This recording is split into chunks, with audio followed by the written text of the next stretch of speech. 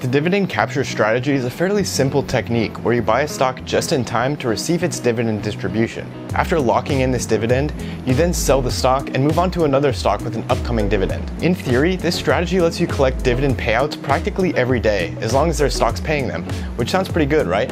Well, that's exactly why we're taking a closer look at this approach today. In this video, I'll give you a detailed explanation of the dividend capture strategy and exactly how to execute it. Then we're going to take a look at some of the numbers and data to figure out if this is a worthwhile strategy in practice. Finally, we'll wrap things up with some dividend capture tips to help you maximize your earnings from this strategy if you choose to give it a try. So if you're ready to start collecting some crazy dividends, stay tuned. So the dividend capture strategy might be one of the most simple investing strategies there is. You just have to buy a stock in time to capture the dividend payout. Unlike other strategies, which often require some level of fundamental analysis or in-depth research, you can pull off the dividend capture strategy with very little legwork. You just need to have a good understanding of one thing, and that's the ex-dividend date. The ex-dividend date is simply the date at which time owning the stock no longer makes you eligible to receive a dividend. In other words, you have to own the stock the day before the ex-dividend date to secure your dividend payout. So here's a simple timeline of how the dividend capture strategy could work. First, a company will announce its dividend. They'll announce the dividend amount, the ex-dividend date, and the date at which they plan on distributing that dividend. This declaration of a dividend typically happens at least a few weeks before the ex-dividend date. So, once a dividend is declared, you have until the ex-dividend date to purchase that stock and become eligible for the dividend. The most important part is that you own the stock at market close the day before the ex-dividend date. This is because the day before the ex-dividend date is the day that the company will make a record of its shareholders, and these shareholders are the ones who will receive the dividends. So keep this in mind. If you buy a stock and sell the day before the ex-dividend date or anytime earlier, you will not get the dividend. You have to hold on to that stock until the ex-dividend date. After this point, you've locked in your dividend, so you're free to sell the share on the ex-dividend date or anytime after it. So to return to our sample timeline, when a company announces a dividend, you have a few weeks to purchase that stock but you have to make sure you're holding the stock before the ex-dividend date.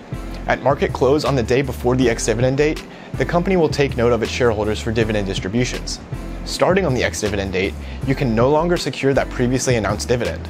Since your holdings were recorded the day before, you can sell your stock starting on this day and still expect to receive the dividend on the announced payout date. And that's really all there is to it. There are literally hundreds of websites out there that you can use to find stocks with upcoming dividends. You just need to find a dividend ex-date calendar and plan your stock purchases accordingly. I did a little bit of searching and came across one I like at benzinga.com. It has a pretty clean and thorough list of the dividends and shows the approximate dividend yield of each stock, which is a helpful metric that I didn't see many other sites offering. And as you can see, there are tons of stocks going ex-dividend on a daily basis.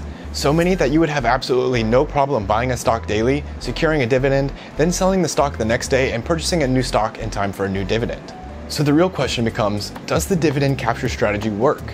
And this is where things get complicated. It's a simple strategy, and it's a surefire way to collect tons of dividend payments throughout the month. But in order for it to be profitable and actually be worth your time and effort, we have to consider some of the other factors at play here. And the three things we have to consider here are price adjustments based on the theory of an efficient market, the cost of taxes and trading fees, and the overall market sentiment on a given day. So let's take a closer look.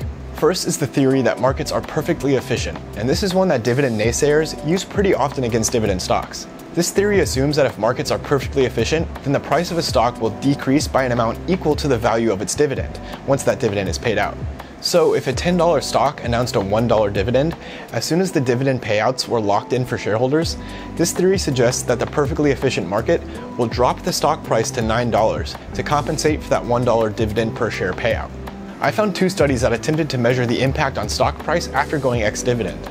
The first is a study performed with data from 1962 to 1987. This confirmed that through those periods, the price drop of a stock was not significantly different from the value of its dividend. In other words, a stock dropping in price equal to its dividend payout was pretty much to be expected. And this would suggest that the dividend capture strategy doesn't really work. After all, if you bought our sample stock for $10 and then got a $1 dividend, then the stock dropped to $9, you're still at $10 total. So if this is going to be the case, then a dividend capture strategy certainly isn't worth the effort. However, I found another study performed in 2007 and 2008 that actually found the opposite. This study randomly tracked 100 stocks from the New York Stock Exchange, analyzing the price impact of dividend payouts over two years. Their research found the markets to be what they call semi-efficient. For the year 2008, they found that just like the previous study, stocks typically dropped by an amount equal to the value of their dividend. But in the year 2007, they actually dropped by an amount less than the value of their dividend. So in these cases, if you use the dividend capture strategy, you would have made a profit. And although it seems that in most cases the stocks react predictably to a dividend payout, this second study proves that there is actually some inefficiency in the markets, which means there is money to be made by the dividend capture strategy. Of course, the second study also brings up the point of the taxation on dividends. Since dividends will be taxed, the dividend value to investors might be less than what is actually paid, which theoretically explains a slightly lesser drop in stock price. But seeing as taxes and costs are the next big factor to consider when it comes to the dividend capture strategy, let's dig into that some more. Taxes are the heavy burden at the core of any stock market investment, especially when it comes to dividend capture. And here's the problem. The dividend capture strategy makes you ineligible for any of the more favorable tax rates. For example, consider a stock that pays a qualified dividend, which includes most common stocks. The tax on this dividend would be the long-term capital gains tax, which for most investors, including myself, is 15%. But in order to get this special tax rate, you have to hold the stock for at least 60 days around the ex-dividend date. So if you bought the stock the day before the ex-dividend date, you would have to hold it for 59 more days to get that qualified dividend tax rate. Or you'd have to buy 60 days before the ex-dividend date in order to sell on the ex-dividend date and still get your dividend at the qualified dividend tax rate. With the dividend capture strategy, you're typically going to be buying and selling stocks very quickly, almost always holding them for less than 60 days. And this means that instead of that qualified dividend long-term capital gains tax rate, you're going to be paying income tax on all of those dividends you've received. For me, this is 22%, which is 50% more than that capital gains tax rate. So this means in order to make a profit from the dividend capture strategy, you have to make sure that your post-tax dividend distributions make up for any drop in stock price that you see in the ex-dividend date. With our same example from before, a $10 stock paying a $1 dividend and dropping to $9 actually leaves you with a loss. You'll be paying income tax on that $1 dividend, leaving you with just $9.78. So the odds are definitely stacking up against us for trying to profit off of the dividend capture strategy. If you're trading somewhere that charges fees, then it's going to be even more difficult to make the strategy work. But there's still one more factor to consider, and that's the day-to-day -day price movements of the overall market. If you happen to pick up a stock on a good day and the ex dividend date falls on a red day in the market, that stock may end up falling even more than its dividend is worth. So now you might be selling at an even bigger loss to snag that same dividend. And this is something that's definitely even harder to predict than just the effect of the dividend payout on the stock itself. So when you factor in the expected drop in stock price, the cost of taxes and trading fees, and the unpredictability of the overall markets, there really are a lot of variables going on here that make it difficult to pull off a dividend capture strategy with any meaningful returns but I love the idea of daily dividends. So let's take a closer look at four ways we can protect ourselves against these risks and perhaps still find a way to eke out some money from the dividend capture strategy. The first way is going to involve vetting some of your dividend candidates so that you can identify the ones that are going to drop as little as possible on those ex-dividend dates. And there are two simple strategies I would personally use in this scenario. The first is to use large cap stocks for the dividend capture strategy. Large cap stocks tend to be less volatile simply as a result of their size. Large cap dividend payers are also known to be more stable than large caps in general, so this could theoretically make them better candidates for the dividend capture strategy. Of course, this is no guarantee and purely my own opinion, but I think the larger the market cap, the safer a candidate for dividend capture. After using this as a rule of thumb for selecting a dividend capture prospect, I would further screen the stock by analyzing what's happened to it on previous ex-dividend dates. To give you a quick example, I pulled up Coca-Cola's dividend history on nasdaq.com.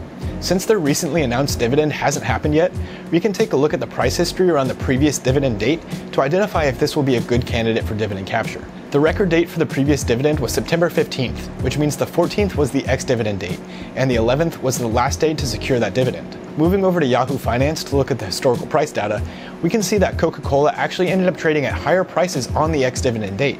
Although there was definitely room to lose on this dividend capture if you happened to buy and sell at the wrong times each day. But if you timed it right, you could have definitely made a profit on this dividend capture. The second way to improve your chances of success with the dividend capture strategy is to perform it in a tax advantaged account, like a traditional IRA or a Roth IRA. This way, you won't be paying taxes on any of the dividends you're securing with the strategy. This will instantly widen your margins for trading in and out of stocks, and it could be the game changing approach that makes or breaks the strategy. It just depends on whether you want to use your retirement savings for this somewhat controversial technique, and if your IRA even gives you the ability to do so. For example, my Roth IRA is set up with M1 Finance, which I love for several reasons, but it has got to be the absolute worst investing platform for trading individual stocks. So as much as I'd like to experiment with this inside of my Roth IRA, it would just be a huge headache to manage. The third strategy for success with the dividend capture strategy is to exclusively target special dividends. Special dividends are dividends that a company pays out on an irregular basis in addition to its standard dividend payouts. In most cases, they're way larger than the usual dividend distributions, which means there's a bigger percentage to be gained with the dividend capture. Of course, these stocks can still fall victim to the ex-dividend date price adjustment, so that's something you'll have to look out for. You should also know that if a company pays a special dividend higher than 25% of the stock's value, the ex-dividend date moves until after the dividend is paid. So you'll also have to hold these stocks longer in order to obtain the larger dividend. And the fourth strategy I've got for you regarding profiting from the dividend capture strategy actually doesn't involve buying the stock itself. Since the stock so often drops on the ex-dividend date, another strategy is to buy options of a stock so that you can profit when that drop does happen. An option is essentially a contract that you purchase, which secures you the right to sell a stock at a certain price. So prior to the ex-dividend date, you would buy an option at or near the current stock price, securing you the ability to sell the stock at its current price. This contract remains open for several days, so once the ex-dividend date happens and the stock price drops, your options contract allows you to still sell that stock at the earlier higher price. But since you don't actually own the stock, the profit comes from selling this options contract to somebody else who will theoretically cover some of their losses with that trade. I cannot personally encourage this because I know very little about the world of options, but what I do know is that there are added risks and costs involved that make it more complicated than the regular dividend capture strategy. So if this sounds interesting to you, just make sure you do your homework before jumping in. And actually, I'll probably cover options at some point on this channel, so if you want me to push that up on my agenda, just leave me a comment below. But those are the four strategies that you can leverage to improve your profits with the dividend capture strategy. I also have one more warning for you if you're thinking about trying it out.